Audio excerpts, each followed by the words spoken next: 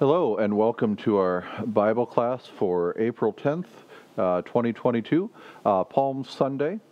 And we're looking today as we get into Holy Week at uh, Judas as our person from the life of Jesus. Uh, and so, betrayed by Judas, one of his 12 disciples, betrayed by Judas for 30 pieces of silver, betrayed by Judas with a kiss. Imagine that, a kiss betrayed by Judas in a garden east of Jerusalem called Gethsemane, betrayed. Jesus was betrayed for us. After betraying Jesus, Judas plunges into the depths of despair. He does not return to Jesus to seek forgiveness. But this Thursday, the night Jesus is betrayed, reminds us of the forgiveness, life, and salvation that Jesus provides for us in the Lord's Supper. May we keep our eyes fixed on Jesus as we journey ever closer to the cross. All right, so who is exactly this Judas Iscariot, kind of the most infamous traitor of all time? Well, that's a really good question because we really, aside from knowing he's a traitor, we don't know a whole lot about him. Uh, there's even debate about, um, so Judas was, was a pretty popular name, uh, but there's some debate over what Iscariot means. Uh, one one uh, guess, one hypothesis is that it's it sounds a lot like the Sicarii we talked about with uh, Barabbas last week. Those uh, the splinter groups of zealot named after their little daggers they used for the assassination of Romans, and so that would put Judas in a very strongly revolutionary camp. Um, he's named at the end of the list of disciples alongside the Simon the Zealot, so that lends a little bit to there. Um, historians are do, they debate whether the Sicarii were organized enough to known that have that label applied to them at the time of Jesus or not. Uh, they were more got more active as you got closer to the destruction of Jerusalem. Um, the other main hypothesis, main guess, and this probably makes as much sense too, is that it's really Iscariot means of Kerioth. Um, there's a couple guesses at where the village is, but they're all in the south of Judah. Now then, this this is unique here. So so so here's Jerusalem and here's Kerioth, uh, or at least one of the guesses for it. Um, and this is the the Dead Sea ish. Uh, there's the Sea of Galilee. Now, so what's different then? Now, most, if not all, of the other disciples seem to be Galileans. Um, you know, Jesus gets gets the other disciples while they're fishing on the Sea of Galilee, uh, or they're in Capernaum, or in some of the towns around there, uh, or following uh, John the Baptist, uh, or there's some we don't necessarily hear their call, but they all seem to be Galileans except for Judas. Um, and so that places him um, then um, as kind of the outsider of the group. Um, you know, he'd be the one who's not from the same place as everyone else, including you know Jesus, of course Jesus was born in Bethlehem, but he's raised in Nazareth, um, and so that's that's the other main hypothesis for what Iscariot means. Uh, we also know he's the treasurer, which seems to be the only formal position of the in the group of disciples. I mean, we talk about you know Peter being kind of the spokesman, and we get the Peter, James, and John as the you know kind of leadership group that goes with Jesus and does things, but uh, none of the other ones get assigned anything. They're not following Robert's Rules of Order. They're not, um, you know, they don't have a secretary or a vice president or anything like that. But they have a treasurer. They have someone who's keeping track of the money bag, and it's Judas. Um, and so that comes up a couple times in these in these passages we look at, uh, and sometimes even then comes up as part of the reason for why Judas betrays Jesus. Um, and so, in fact, then when we're introduced to Judas in all four Gospels in the list of the disciples, um, he's just introduced as Judas Iscariot, who betrayed him, or who who would betray him, or had betrayed him, um, d- depending on, on the on the writer. But that that's his defining characteristic is um, is tra- is being a traitor, is betraying Jesus. But the the funny thing is that you know, he had to, he betrays Jesus, but yet he'd been he'd been following Jesus and had plenty of opportunities if he'd wanted to just not follow Jesus anymore. Uh, in John 6, at the end of uh, John 6, and this is the bread of life chapter. So uh, Jesus starts talking about, after feeding the 5,000, talks about how they need to eat his flesh because uh, he's the bread of life, um, alluding both to uh, how the way God provided manna in the wilderness for the Israelites, um, and we Christians sometimes see that too as a he's looking ahead to communion on what that'll do. Um, but lots of disciples leave. But after this, many of his disciples turn back and no longer walked with him. But Jesus starts talking, "You need to eat my flesh." Lots of people get think this is weird and and leave. Um, so Jesus said to the twelve, "Do you want to go away as well?" And Simon Peter answered him, Lord, to whom shall we go? You have the words of eternal life. And we have believed and have come to know you that you are the Holy One of God. Jesus answered them, Did I not choose you, the twelve? And yet one of you is a devil. He spoke of Judas, the son of Simon Iscariot, for he, one of the twelve, was going to betray him. So, in other words, Judas had a chance to do it, but he doesn't. But Jesus knows he's going to betray him, even if no one else does yet and maybe even if Judas himself doesn't know know yet. There's debate about that too. Um, again, and this again, son of Simon Iscariot, that lends a little little credence, little more believability to the fact that it's Iscariot means of Kerioth, so it's from of the town that he's from. Um, but the the big thing we got get of Judas then his um, his challenge is what we um, we re- well we read this one when we talked about Mary of Mary and Martha and Lazarus. Um, but Judas, Judas has a key point in this episode, too. So, six days before the Passover, Jesus therefore came to Bethany, where Lazarus was, whom Jesus had raised from the dead. And so, this is right before Palm Sunday. And they gave a dinner for Jesus there. Martha served, and Lazarus was one of those reclining with him at the table.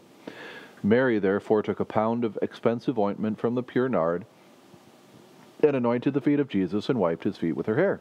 The house was filled with the fragrance of the perfume. But Judas Iscariot, one of Jesus' disciples, he who was about to betray him, in case you forgot that this is the guy who's going to betray him, said, Why was this ointment not sold for 300 denarii and given to the poor? He said this not because he cared about the poor, but because he was a thief, and having charge of the money bag, he used to help himself to what was put into it. Jesus said, Leave her alone, so that she may keep it for the day of my burial. The poor you always have, have with me, but you do not always have me. And when the large crowd of the Jews learned that Jesus was there, they came not only on account of him, but also to see Lazarus, whom he had raised from the dead. So the chief priests made plans to put Lazarus to death as well, because on account of him, many of the Jews were going away and believing in Jesus.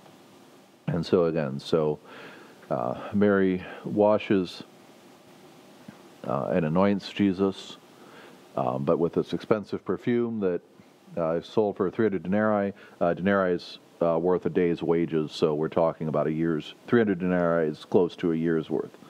Um, so pretty expensive stuff, but and so uh, Jesus sees this as a, of course we saw this as a generous action, um, whereas Judas is uh, greedy, and John at least thinks that the reason Judas objects is that he wants control of the money because then he can skim some off the top. Um, and so and so that's at least part of Judas's motivation that you're giving him him this this greedy aspect um, that he's not in line with all the humility stuff that the other disciples are that Jesus has been teaching anything like that. Um, so, but as we'll see, there seem to be some. There, there's other possible motivations too. All right. So then, now the feast of unleavened bread drew near, which is called the Passover, and the chief priests and the scribes were seeking how to put Jesus to death because they fear the people. Again, this is what the, the pre, they're trying to getting ready to kill Jesus. And then Satan entered into Judas called Iscariot, who was of the number of the twelve. He went away and conferred with the chief priests and officers how he might betray Jesus to them. And they were glad and agreed to give him money. So he consented and sought an opportunity to betray Jesus to them in the absence of a crowd. And so we already then here in Luke 22 have have Judas have, has finally hit the point uh, just before Holy Week that he's going to get the chief betray Jesus to the to the chief priests, and he's doing so for 30 pieces of silver. Um, so, again, that kind of goes along with that greed aspect um, that we saw in this other account. All right, and then, uh, but then we also hear too, uh, John 13, uh, beginning of the Last Supper. uh, during the supper when the devil had already put it into the heart of Judas Iscariot, Simon's son, to betray Jesus. So um, we also seem to get that uh, Judas is is betraying Jesus, but not necessarily not necessarily because of himself, but because Satan's entered him. Now, of course, you know, Satan had to have the opportunity to enter into him, so uh, there's he's got got some guilt there. Um, but it seems like, you know, even if Judas had wanted to back out, Satan's possessing him now at this point, and so won't be able to. All right, and, and then after saying these things, uh, this was at washing the disciples' feet and stuff. Then, after saying these things, Jesus was troubled in his spirit and testified, Truly, truly, I say to you, one of you will betray me. The disciples looked at one another, uncertain of whom Jesus spoke. One of his disciples, whom Jesus loved, so John, uh, was reclining at table close to Jesus. So Simon Peter motioned to him to ask Jesus of whom he was speaking. So that disciple leaned back against Jesus, said to him, Lord, who is it? Jesus answered, It is he to whom I give this morsel of bread when I have dipped it. So when he had dipped the morsel, he gave it to Judas, the son of Simon Iscariot. Then after it taken the morsel, Satan entered into him. Satan had been around, but uh, but seems to be in control now. And Jesus says to him, "What you are going to do, do quickly." Now, no one at the table knew why Jesus says this to Judas. Some thought that because Judas had the money bag, Jesus was telling him, "Buy what we need for the feast," or that we should give something to the poor. So, after receiving the morsel of bread, he went out immediately, and it was night. Um, and again, uh, especially in, in John's Gospels, it happens in some of the other ones too. Um, the, but that some of the times when we get those, uh, get these descriptions of light, uh, of day and night kind of things, that's representing how they are um, spiritually as well. And so Judas goes out in at night because he's now in spiritual darkness. Um, he's leave, leaving the light, leaving Jesus. All right, so um, again, we won't look at the accounts across all all the Gospels, but uh, found this was included in the uh, some of the stuff with the um, with the Lenten series, so it gives us a good basic overview. Um, so you can stop and read these Bible passages by yourself and see how they work together. Uh, but so Judas is present at the Last Supper, and the sequence of his actions are as follows: He goes to betray the chief priest to to he goes to the chief priest to betray Jesus for money. Again, that's recorded in in those three gospels, and so he's paid 30 pieces of silver. And he's with the disciples at the initial part of the Passover supper. You know, so he's he's still with them at that point. Now the devil puts it in Judas's heart to betray Jesus. Jesus tells the disciples that they are not all clean when he's washing their feet in a reference to Judas. Some of them they sit back down and, and, and eat and Jesus tells the disciples that one would betray him. This is the passage we just saw. They include Judas asking, "It is I? Is it I?" Jesus says that the one who dips the morsel with him will betray him. And Jesus tells Judas that he is the one and gives him a morsel. Jesus institutes the Lord's Supper with the disciples, and then Judas immediately leaves and goes to the chief priests. And so he's been with them um, but he leaves before um, he leaves while the supper is still going on so he can get ready. But he also then knows that Jesus is going to Gethsemane because it talks about it was a place that Jesus went all the time. Um, and so then they he, go, he goes, and again, the big betrayal comes with the kiss, um, and also comes then just that.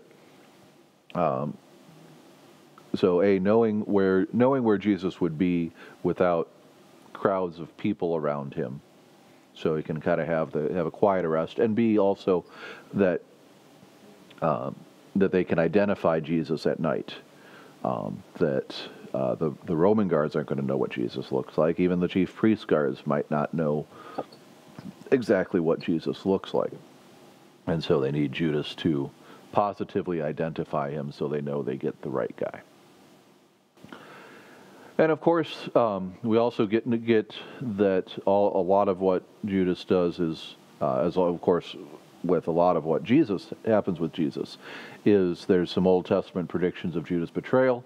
Um, Psalm 41 9, even my close friend in whom I trusted, who ate my bread, has lifted his heel against me. Um, Psalm 55, for it is not an enemy who taunts me, then I could bear it. It's not an adversary who deals insolent with me, then I could hide from him. But it is you, a man, my equal, my companion, my familiar friend. We used to take sweet counsel together. Within God's house, we walked in the throng. Um, and that's, you know, not not as specific. Um, that's more kind of more general betrayal thing, but we use it to to look at Jesus too. And then, of course, um, here uh, in Zechariah. So I said to them, It seems good to you, give me my wages, but if not, keep them. And they weighed out as my wages thirty pieces of silver. Then the Lord said to me, Throw it to the potter, the lordly price at which I was priced by them. So I took the thirty pieces of silver and threw them into the house of the Lord to the potter.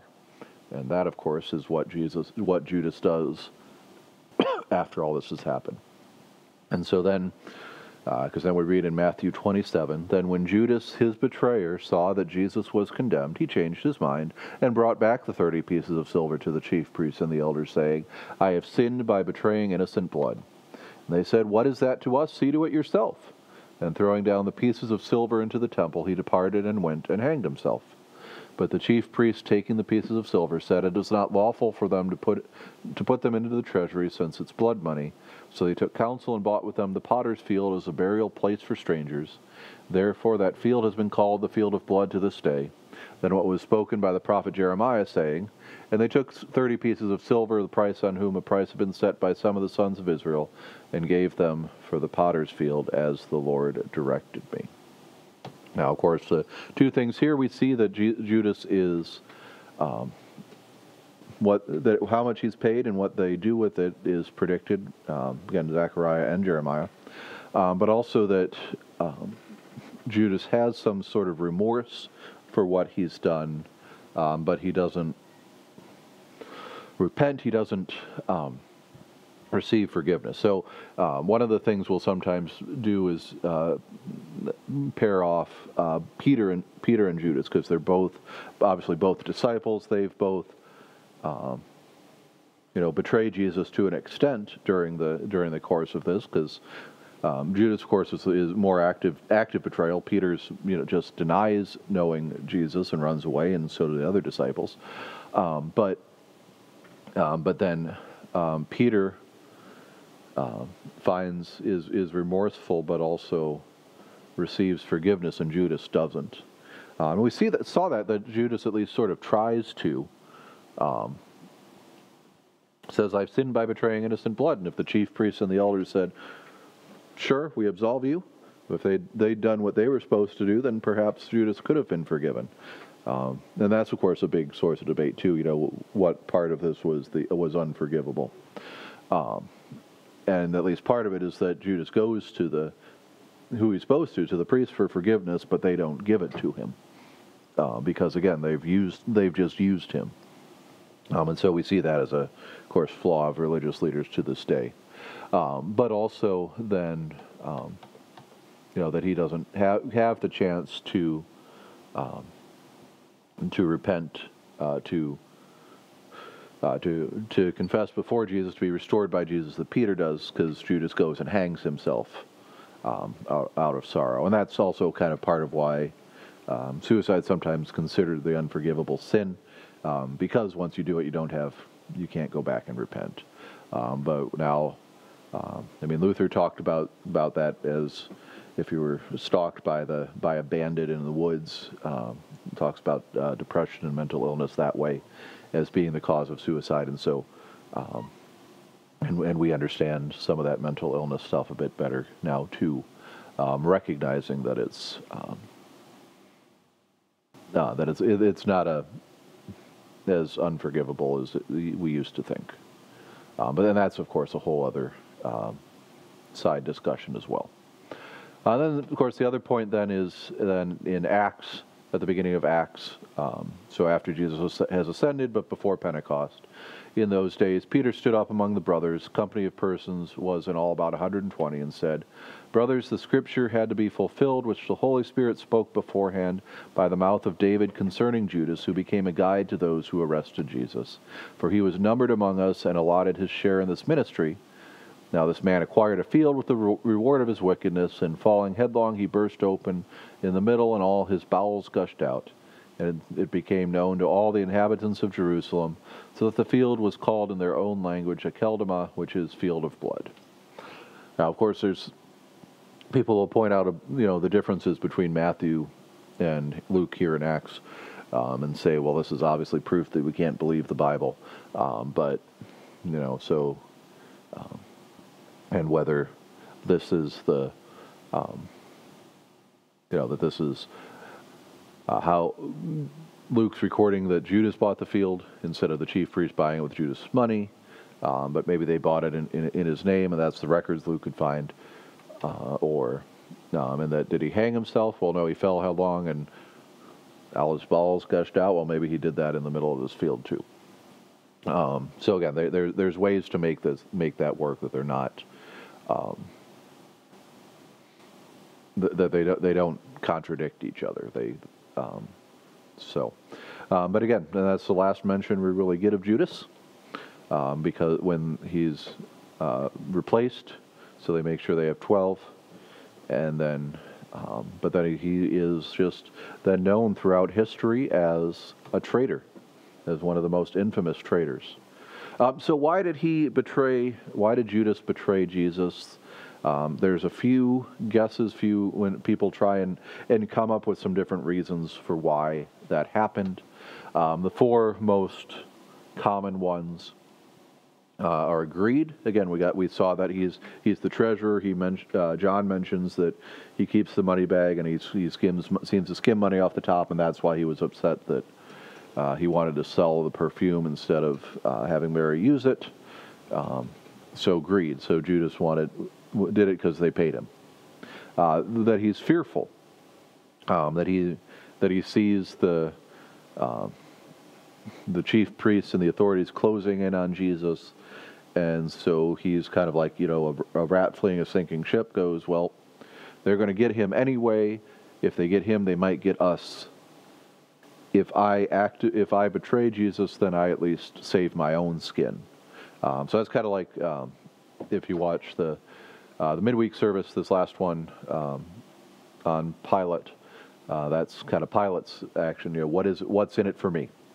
Uh, that that he's uh, dis- disillusioned uh, that uh, maybe he is um, has some revolutionary tendencies, uh, that he's waiting for Jesus to do more than he's been doing, um, and so is thinks that thought Jesus was the Messiah who was going to restore Israel. He's decided that Jesus isn't, and so he's going to betray Jesus because because he's disillusioned because he was following Jesus and now doesn't believe him to be who he said he was or anything.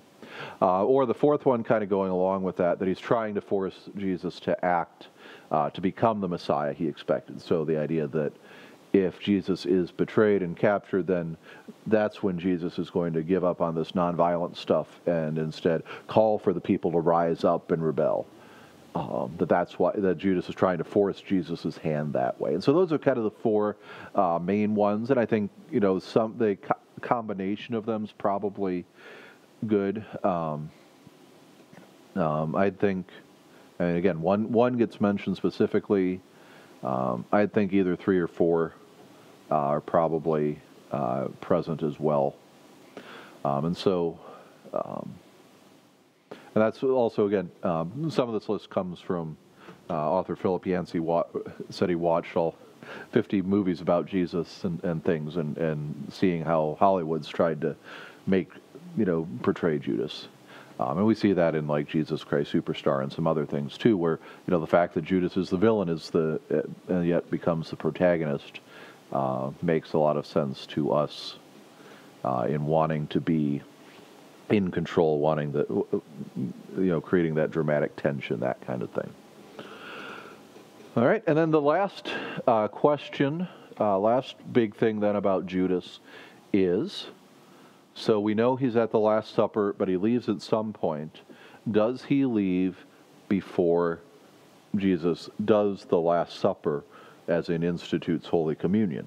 Uh, because of course that's a big deal, um, you know, practically then, as as theologians and, and churches and pastors and people debate about who can receive communion and, and, and how they do it and, the, and that kind of thing. Because, of course, if if Judas received it, then that argues for a little more openness, um, you know, even if it's ineffective in his case, so to speak. Um, but so again, uh, so much ink's been spilled over the question of Judas's presence for the institution of the Lord's Supper. The biblical story is ambiguous as to whether Judas receives communion. It's ambiguous as to when exactly he leaves. Uh, it's worth taking note that scriptures seem to imply Judas having left before the institution, but scripture does not definitively express that to be the case. So again, you know that I mean Judas gets a piece of bread dipped into him, but um, you know, there's debate over how exactly this meal would have looked, um, and there's, um, you know, some of the uh, Seder meal kind of things uh, usually have it being kind of like the thirdish course. Um, and so maybe Judas, when Jesus dips the bread in, that that's one of the first, that's earlier in the in the meal, uh, but it could, he could have been there for it too. Uh, but and but at least some teachers, doctors of the church, did hold that Judas did receive the supper. In fact, when Luther was writing about it, he said, Now the partakers of this broken bread are not only the worthy, but also Judas and the unworthy. For the breaking of the bread takes place among the good and evil.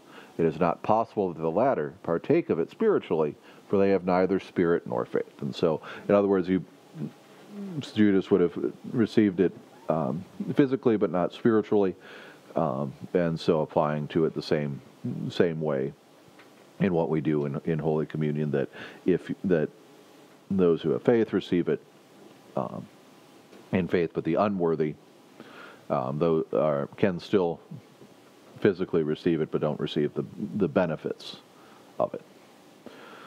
All right, so that is uh, the end of our uh, study on Judas. Um, we won't. There won't be a pre-recorded Bible study the next two weeks.